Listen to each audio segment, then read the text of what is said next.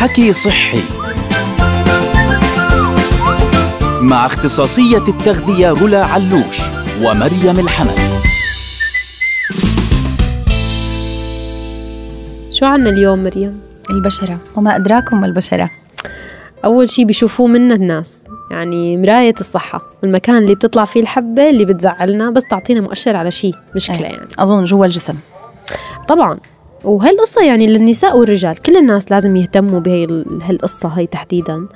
والفكرة أنه في مجموعة فعلا من الفيتامينات مسؤولة عن لمعة العيون صحة البشرة قوة الأظافر نضارة ال- الجلد. آه كلهم مربوطين مع بعض ب آه هي مربوطة بكلمة ديكا أو دي إي كي آ بالإنجليزي يعني. حلو. حبيت الربط أنا. آه نحن كأختصاصيين يعني بنربطهم لحتى نسهل على الناس وعلى حالنا بحفظ آه. الأفكار اللي لها علاقة بالتغذية والصحة. هلا أنا بدي أسألك وين موجودين الفيتامينات؟ يعني إذا بلشنا بفيتامين د هم دي وإي وكي وإي صح؟ صح. حلو هلا فيتامين د يا ستي الشمس طبعا آه من الأكل يمكن بنقدر ناخده من الأشياء اللي لونها أبيض شوف صح. أنا شوف الربط ال- الألوان اللي أنا آه، بعمله يعني بتخيل. أنا موجود من الحليب اللبن البيض هيك والجبنة قصص سمعت إنه الفطر كمان فيه نعم لكن نباتي. المصدر الأساسي. للفيتامين د هو الشمس طبعا بتعرفي أنا طلع عندي نقص طبعا بعد ما حللت بناء على توصياتك ست رولا فركزت شوي بالموضوع بصراحة فالفكرة العامة اللي فهمتها إنه بكل وجباتنا لازم ندخل نسبة من الأكل فيها حتى نحصل على هذا الفيتامين مع الشمس. تماما. هلأ يعني إذا كان شخص عنده نقص كتير كبير بفيتامين د مستحيل يعوضه من الطعام. حتى من الشمس مستحيل. لازم لازم وقتها ياخذ مكملات مع وجود شمس والطعام. لكن بالحالة الطبيعية طبعا لازم ننتبه لأنه شو الأكلات اللي بتعطينا فيتامين د؟ ونتعرض كل, كل يوم تقريبا شي نصف ساعة للشمس. طيب حلو. خلينا نروح للفيتامين الثاني فيتامين اي وين موجود برأيك؟ أظن بالزيت بالزيوت النباتية. المكسرات. صح. وكمان بنلاقيه بالافوكادو بالزيتون. وبالمكسرات بركز على اللوز فيه نسبة جيدة من فيتامين إي وبتلاحظي إنه قد إيه بيحطوه ب فوائد زيت اللوز للبشرة. بالضبط. مشهورة هالقصة. طيب هل أحسن ناكل فيتامين إي ولا ندهن فيه بشرتنا يا هلأ الأفضل العناية اللي بتيجي من الداخل لأنه بالأساس بتساعد على تغذية الخلية من جوا. لكن كتير بحب فكرة العناية من برا ومن جوا بحس في تكامل هيك إشراقة للبشرة يعني. حلو. بتعرفي أنا فيتامين إي بشتري من كبسولات اللي بيكون بقلبها وباللوشن الترطيب العادي تبعي. ب... يعني بدبوسه صغيرة بخسقها بيطلع الزيت وبخلطه مع الكريم الترطيب أو أحيانا بحط معلقتين زيت زيتون. بحس إني أنا هيك كأني عملت إشي صحي يعني. ممتاز جدا على فكرة. يعني هي هي الأفكار البسيطة اللي بتساعد الناس إنه فعلا نعيش بطريقة أسهل لكن بطريقة أفضل. هلأ فيتامين كي وين بنلاقيه؟ بنلاقيه بكل شيء لونه أخضر. يعني مثلا البروكولي الملفوف الخيار الأوراق الخضراء. وهدول بصراحة نحن مقصرين بأكلهم يعني. وهذا الفيتامين هو بس يدخلوا هي نباتات على أمعائنا بتتكون داخل الأمعاء. يعني بتبلش الأمعاء آه، بفعل البكتيريا الموجودة جوا الأمعاء تكون هذا الفيتامين. يعني السلطات الأشياء الخضراء عارفة في أكلة عند الأتراك كمان بيعملوها بالسبانخ بيقطعوه كتير صغير وبيضيفوا عليه حتى شوية بندورة شوية جزر مبشور. إيه، طعمه لذيذ لأنه بحس يا رولا من المش... ليش إحنا ما بنتناوله كتير؟ إنه أحيانا ما عندناش طريقة لذيذة اللي نتناوله. صح. الأشياء الخضراء. إنه بس سلطة سلطة سلطة. لا في طريقة إنه ممكن ندخل خضار كأكلة مو كسلطة كطبخة. بس.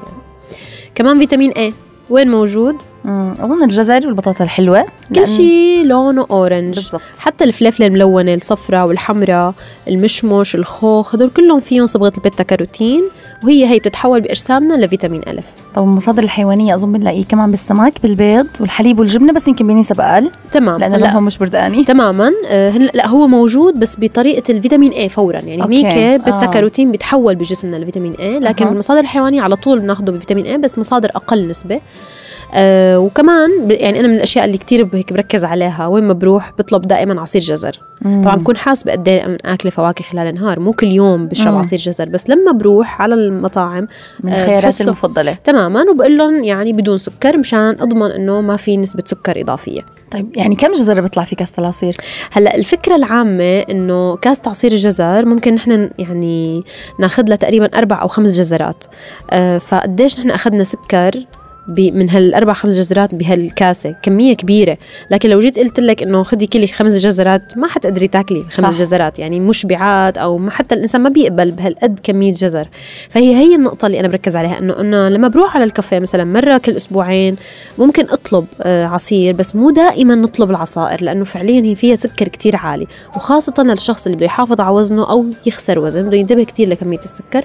وبتلاحظي سبحان الله نحن أجسامنا رب العالمين خلقها لحتى تستهلك السكر أو تتحمل السكر الموجود بحبة فواكه مو بأربع حبات أو خمس حبات من الفواكه مركزة ب- بالعصير. اللي هو الألياف.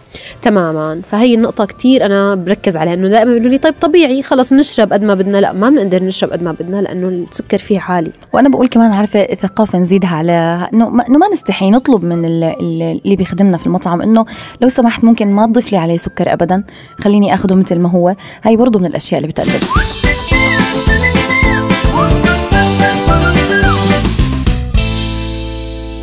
شو محضرتي لنا اليوم؟ تذكري قبل كم يوم هيك حكيت معك على التليفون وأنا مبسوطة وسعيدة وبقول لك رولا أخيرا لقيت طريقة لذيذة للأفوكادو لأنه أنا مش كثير من عشاقها ومحبيها بس فعلا لقيت طريقة كثير مميز دلتني عليها وحدة صاحبتي. وحابة أقولها للناس يعني كثير سلطة الأفوكادو واو فالفكرة وين؟ إنه هي لازم تكون حامضة فيها شوية حداقة. هذا السر اللي بيخليها يختلف الطعم ال- اللا طعم اللي موجود في الافوكادو فهلا بنقشر حبة أفوكادو أو أكثر حسب الكمية اللي بدنا إياها وبنقطعها لمربعات صغيرة مثل ما بنقطع للسلطة. بنضيف معها بندورة كمان مقطعة بصل أخضر مقطع وممكن شوية خيار وشوية خس. فبيتقطع يعني كسلطة يعني بنضاف عليها زيت زيتون خل بلسمي وشوية بتعرفي الفلفل الأحمر تبع الأتراك اللي خشن مو بودرة تماما؟ yes آه. بنضيف منه رشة مع نتفة ملح ومن السر الجميل اللي هو الجوز المكسر. آه. الجوز المكسر هيك بتحطيه على الوجه تبعها. بصراحة حسيتها كتير زاكية وبتضيع الطعم للناس اللي ما بتحب الأفوكادو. عظيمة. إيه. والله فكرة ممتازة. تجربة أنا بشجع كل الناس عليها. عندي اليوم أفوكادو بالبيت خلص رايحة أعمل هي السلطة صوري لي إياها نزلي على الإنستغرام.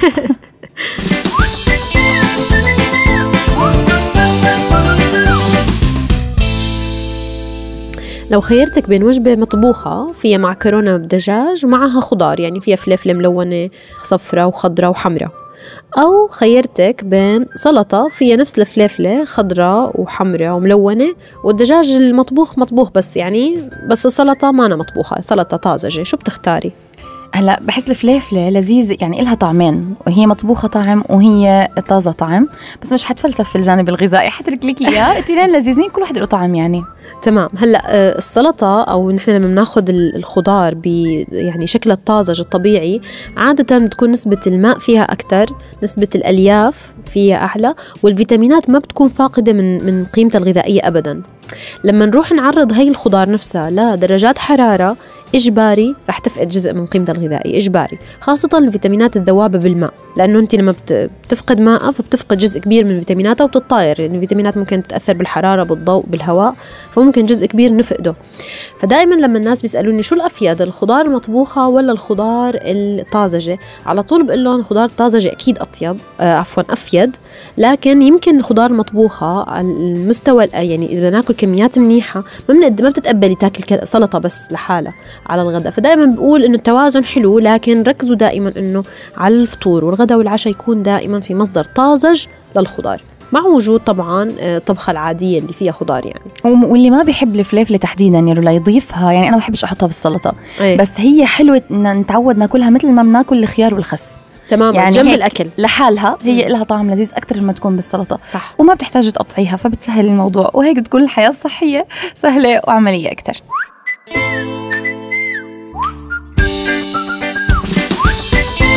حكي صحي.